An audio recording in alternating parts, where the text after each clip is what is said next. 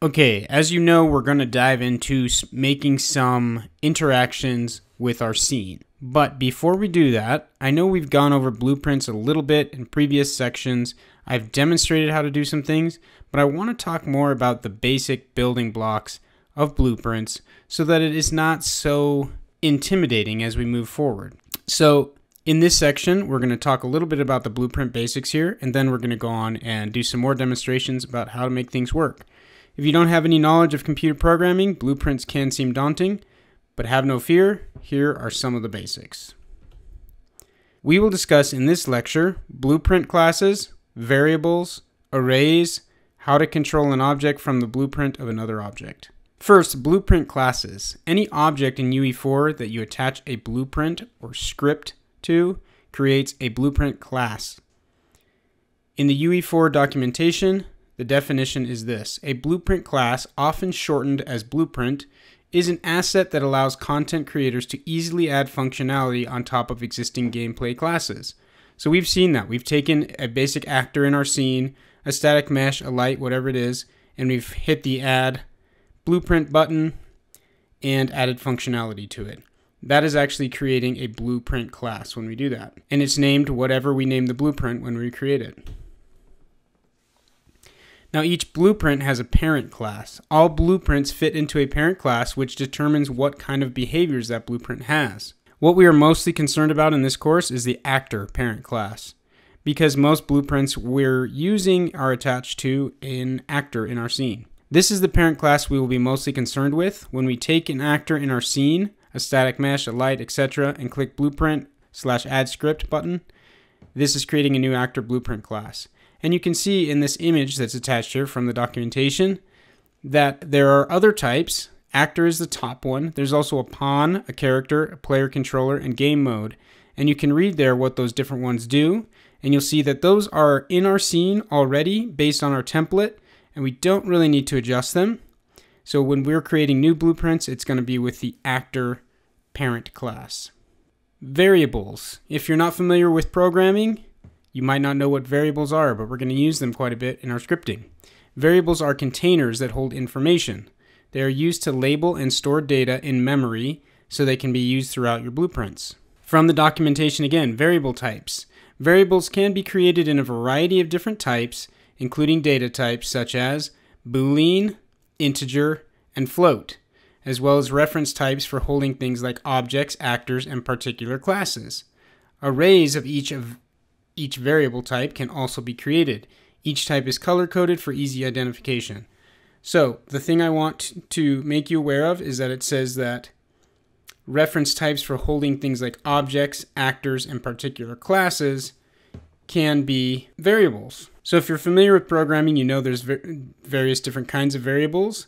But in UE4, the unique thing is that you can turn objects or any kind of actor or any of those blueprint classes that we've created into variable types. So what really does that mean? Here's some of the variable types. Okay, we'll go over them. There's a boolean, which is basically just a true or false piece of data. That boolean, that variable equals either true or false. There's an integer, which is whole numbers without decimals. And you can see examples there on the right. There's float, which is numbers that need decimals after it, such as 0.0553. Okay, there's a string, which is just a group of alphanumeric characters, such as hello world. That will be magenta. There is text. Vector. Okay, a vector is basically a collection of three different numbers.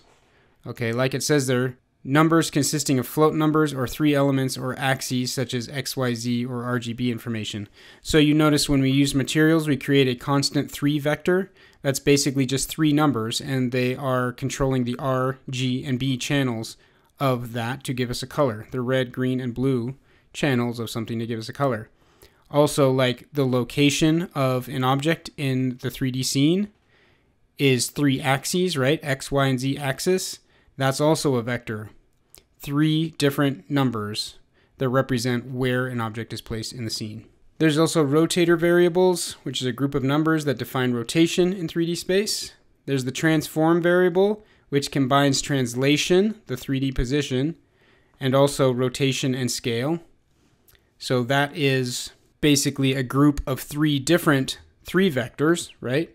Because the position is a vector uh, is three vectors. Well, is a vector of three numbers. The rotation is a vector of three numbers, and the scale is a vector of three numbers. All three of those combined together gives us the transform variables. And then there's the object variable, which is basically, like it says here, represent objects including lights, actors, static meshes, cameras, and sound cues. So basically all the stuff in our scene that we're wanting to adjust can be a variable type, and that's the blue ones, and they're object variables. Okay, that might not make a lot of sense now, but when we get into our blueprints and start creating things, you'll see how this all comes together. So keep these terms in mind and these different variable types. An array is just a collection of variables all put together into one group, and they're of the same type. So all the variables in that array are all of the same type of data. So if you're collecting a blueprint class of, let's say, can light BP, then you would create an array of data type can light BP and it would collect all the all the objects of that type in your scene. So any can light BP that you've copied around in your scene, it will collect that into that array. Arrays from the documentation. Just as with variable values, blueprints can store data within arrays. If you are not versed in programming terms, you can think of an array as a collection of variables all housed within a single unit. So those little nodes you see there, like my bool array, is a collection of, bo- of boolean values. And it can, like like it says on the far right, the top right, my actor array can just be a collection of various different actors in your scene that all fit into the same type. Same types of data, but stored in groups instead of single ent- entries. Any variable can be turned into an array, a group or collection of the same variable type. So if you had a variable in your scene that you were using that was a boolean, you could right click next to it where the, you see that little grid of boxes and that would turn it into an array. And I'll show you how to do that, which means that it can now hold multiple boolean values instead of just one.